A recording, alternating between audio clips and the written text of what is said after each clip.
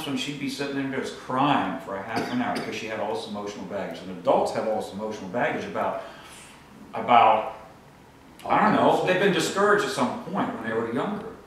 And those are the big hindrances people have, I think. Just, just do it, just enjoy it and do it. you know. Just do it.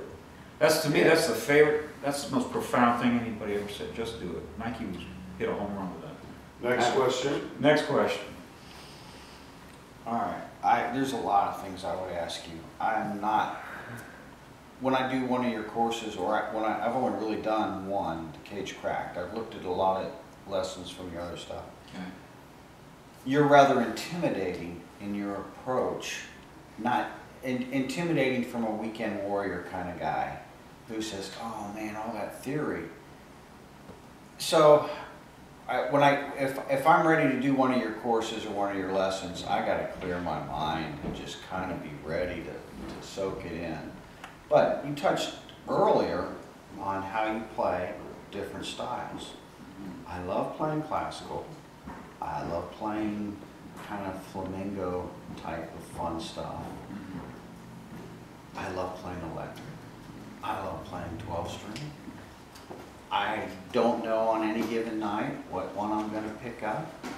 But how, what do you, I guess theory is what you would practice that, that does them all, but how do you, I don't know how to focus on one. I don't know how to, to keep one and which one, which When one you should I say focus one, on? do you mean one style? Yeah, I, I, I really, should I focus on one or do you just kind of let it all happen?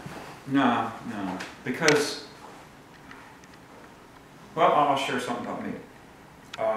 Sometimes you have to do some pretty drastic things to get what you want accomplished accomplish in life. I started off as a blues guitar player. I got bored pretty quickly because I had all the Johnny Winter licks and all the old blues stuff, because the vocabulary is, it's limited. Mm-hmm.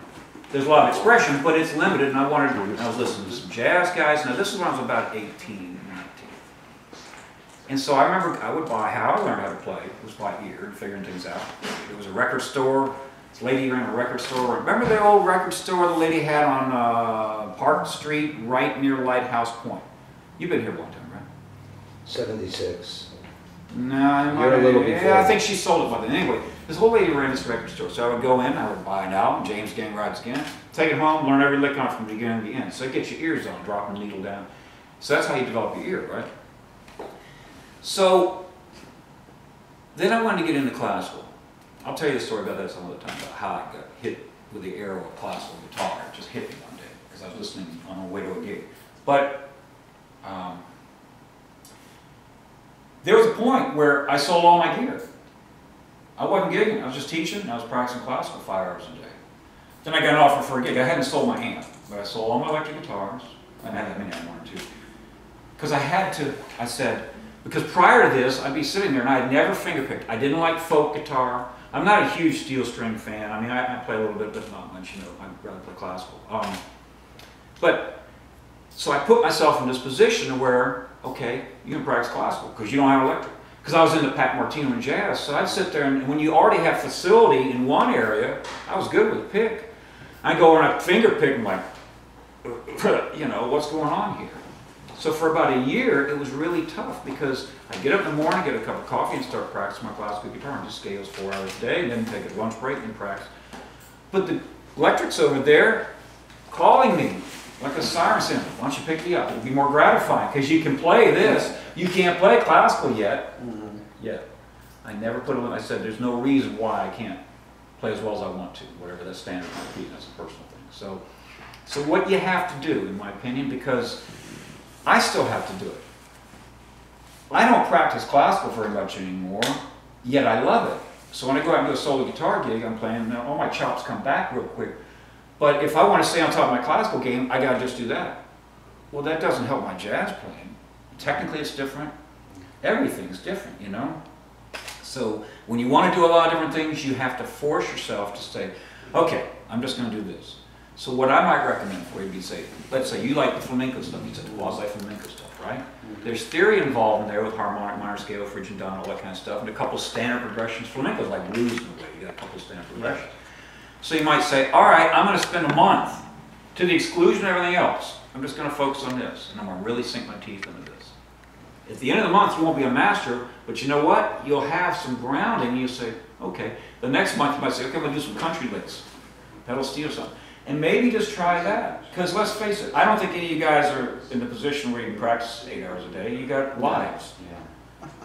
So if you're practicing six, seven hours a day, then you can say, come and do an hour of this, an hour of that, an hour of that. I don't think any of us are in that position. So you have to pick and choose, and that discipline, it goes back to discipline. You have to have the discipline to say, I want it, what's it gonna take to get it?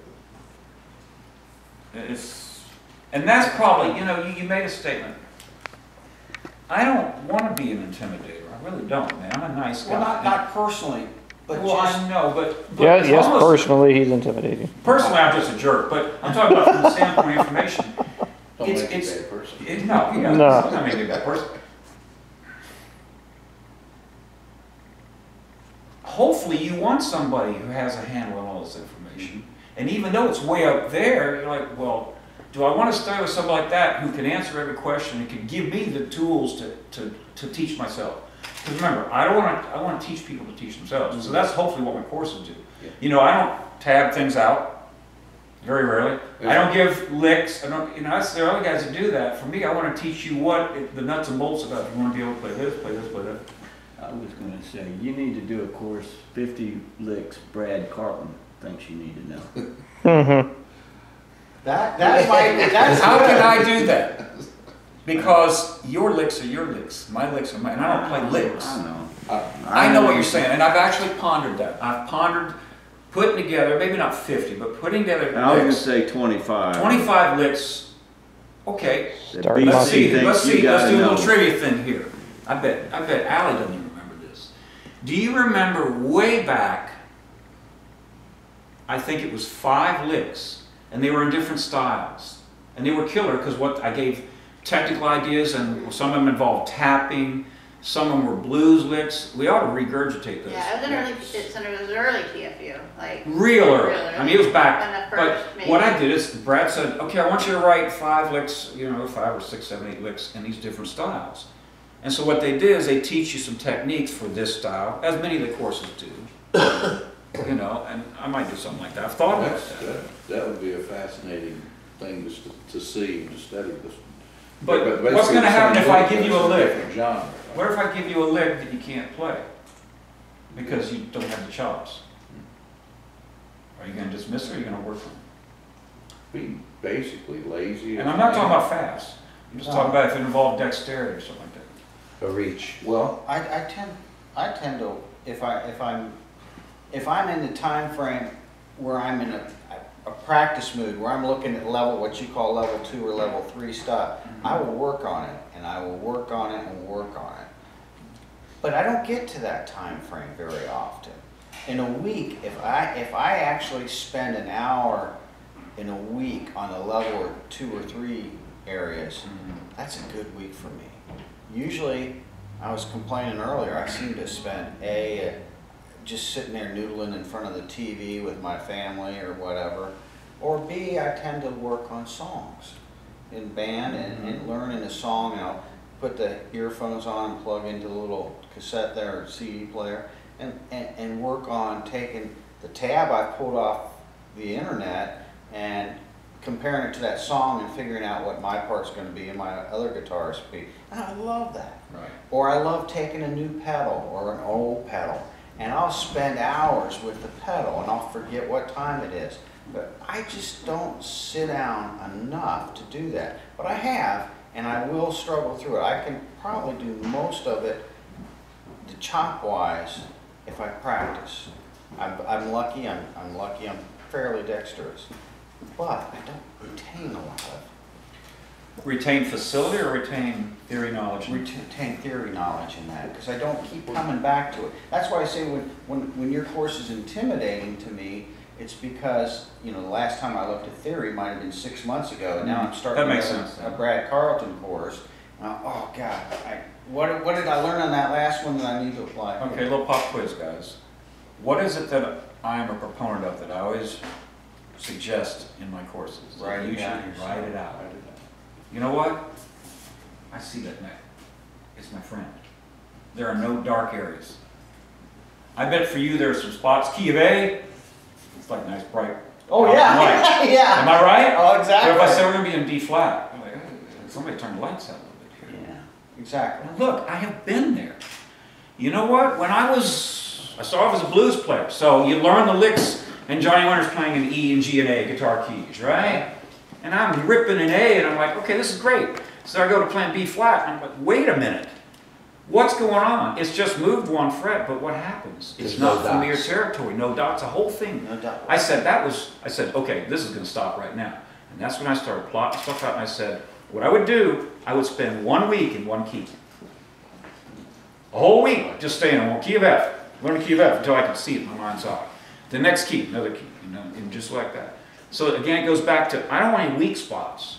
To me, I tell people, look, we'll go back to Yngwie. Yngwie has strengths in this column right here, right? I read a thing, and I can understand this totally. Uh, he was supposed to play on some guy's album. The guy was having guest guitarists come in. This guy's like a jazz fusion guy or something. Comes in, Yngwie's sitting there struggling, couldn't play the lick. Why? Because it's not part of his vocabulary. It's different. You know, Pat Martino is a monster player at what he does. But what he does, he doesn't do a whole lot of chord work. He couldn't handle a classical guitar. He's a single line player, right? And then you look at players that, that do a lot more, play a lot more guitar, play like a piano, okay? That's more technique than just playing single lines. And I love it all. But the point is, you gotta, if you wanna be able to do it all, you gotta say, okay, I don't want any weaknesses. So, to me, I tell people, get rid of your weaknesses. I don't ever practice strengths, ever. You know why? It's real rewarding, ego-wise, because it's like, wow, that's easy. That's the stuff that I can already play, and oh, I could keep practicing this, and it's that tall pillar that's a skyscraper above everybody else. But that's not what it's about. When I start to practice stuff that I'm comfortable with, I sort of slap myself say, nope. Play something you can't play well. Play something that is that dark area. Play something that challenges you. So you're always putting yourself in that state of mind where you're saying, I want to work on my weaknesses.